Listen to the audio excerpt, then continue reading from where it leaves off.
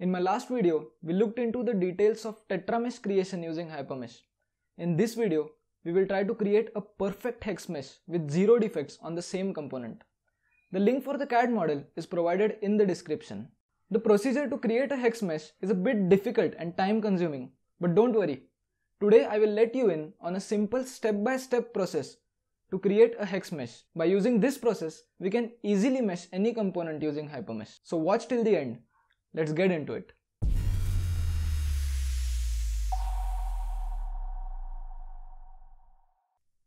Let's start by deleting all the solids. Working with a surface geometry is much easier for geometry editing and simplification.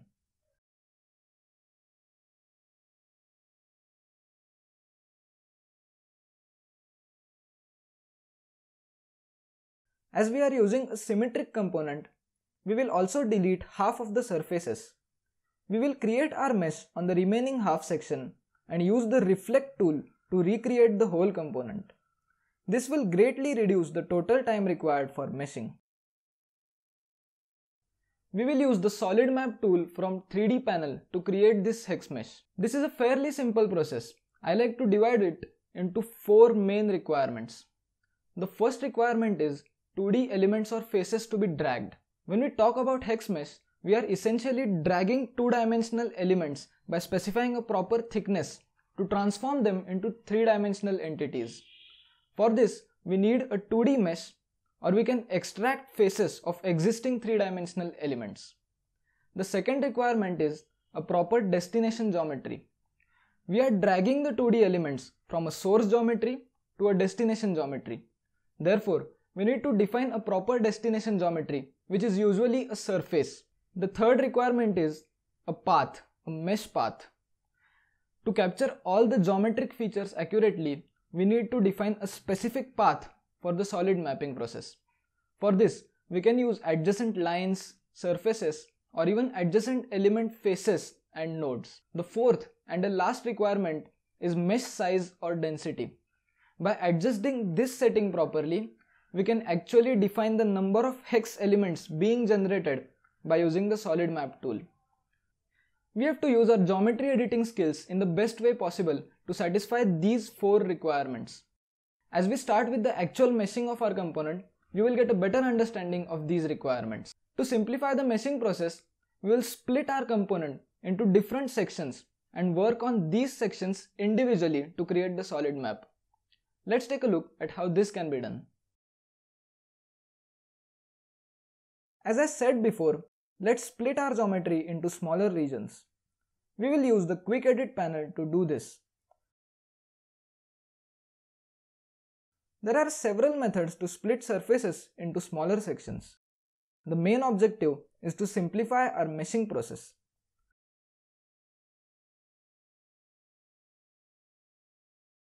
Now, as per the first requirement for solid mapping, we need to have 2D elements.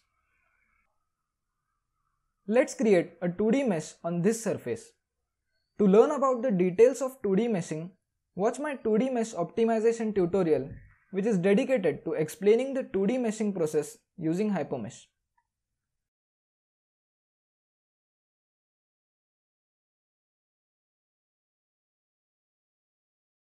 Let's eliminate the tria elements and optimize the mesh quality using the quality index tool.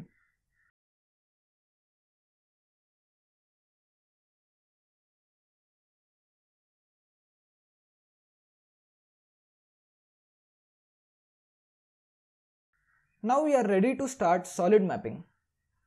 Open the solid map tab from 3D panel. We don't need a source surface. Select the 2D elements to be dragged. Use the by face selection option. Now set the parallel face as the destination geometry. There are several settings to specify the path. I suggest keeping it on mixed so that we can specify multiple settings at once. Select the perpendicular surfaces. Lastly, use the density setting to define the size of elements being created. As you can see, a hex mesh is now generated.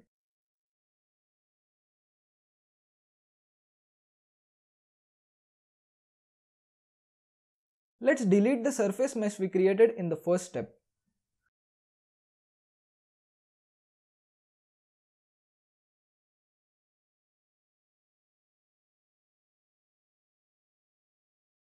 Now we can move to the next section for solid mapping. We will extract the faces of these hex elements to specify the path while meshing the second section.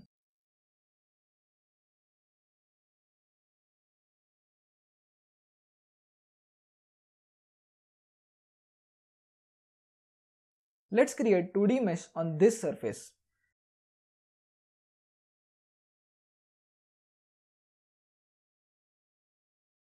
As we did in the previous section, optimize the element quality using the quality index tool.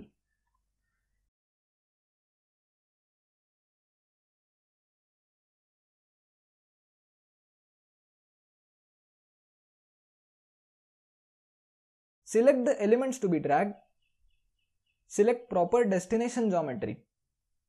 This time, along with the path surfaces, we will also select the faces we extracted so that the new mesh matches with the previously created elements and there is proper connectivity.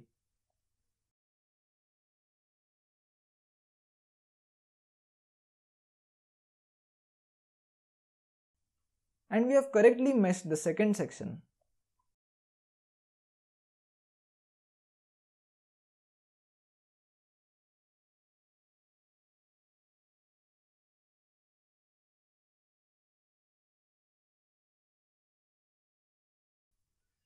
The process to mesh every section is exactly the same. Extract faces, mesh a surface, optimize 2D mesh, select elements to drag, define path and adjacent faces, and specify the size or density. In fact, it starts to feel extremely monotonous as we go along from section to section. The key is to understand which surfaces to use for mapping. It is crucial to select the adjacent mesh faces when defining path to ensure proper node-to-node -node connectivity throughout our mesh.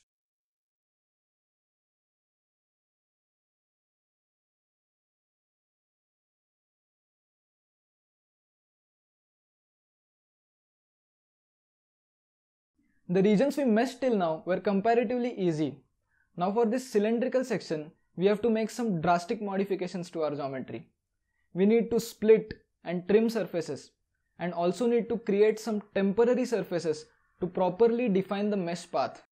This is the most crucial part of our meshing process. So watch closely.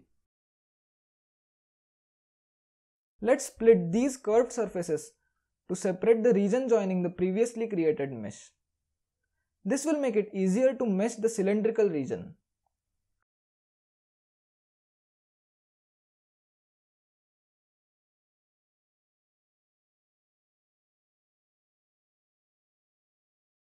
Now we need to trim some surfaces so that we can create temporary surfaces at specific locations.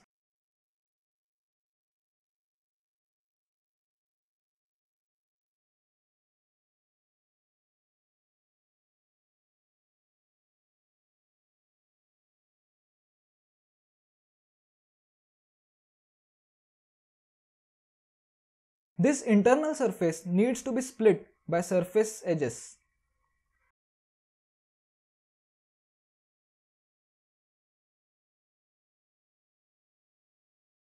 Let's create two temporary surfaces to define the path along which we will drag element faces.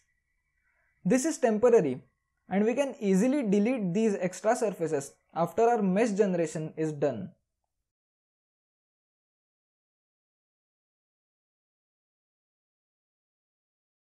Now we need to extract the faces of all these elements. We will map these faces on the trimmed internal surface. The path will be specified by the temporary surfaces we created.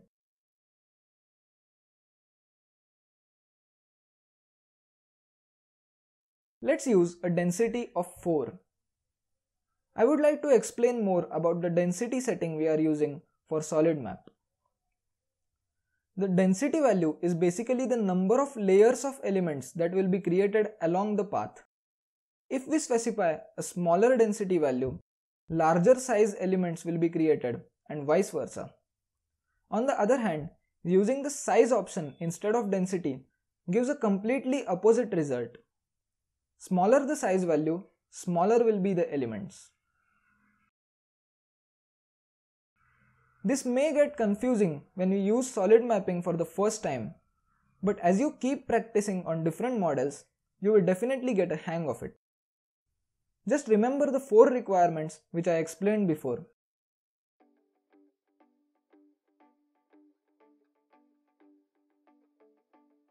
We need to use our geometry editing skills to modify our model in any way possible to satisfy those four requirements.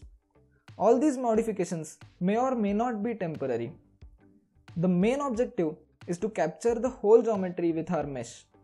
It doesn't matter if you have to edit, create or even delete troublesome surfaces.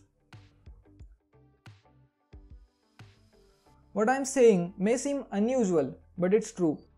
We perform the simulation on the mesh and not on the geometry. The mesh is of highest importance.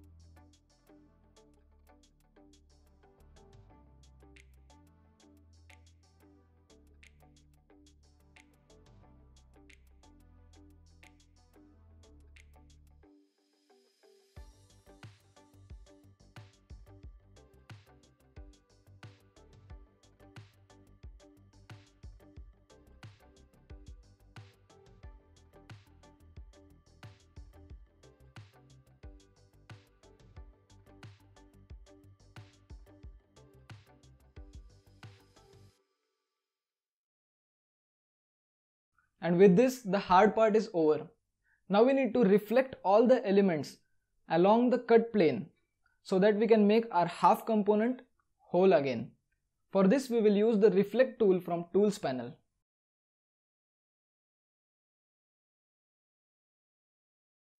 Select all the elements and duplicate them in the original component.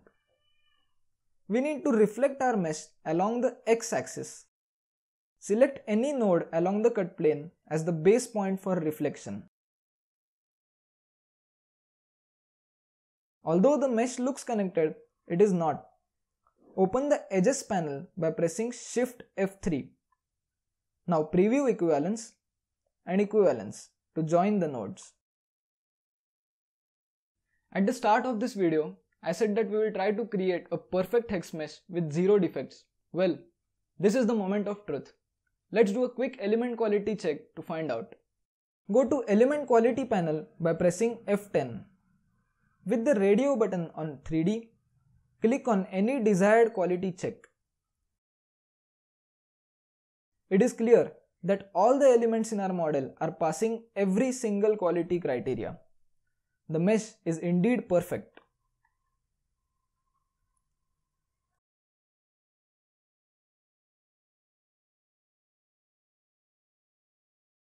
And that's all for hex mesh creation using Hypermesh. Smash that red subscribe button and turn on the notification bell. If you have any doubts, feel free to comment below. If you like this video, please give a big thumbs up. It helps a lot. See you next time.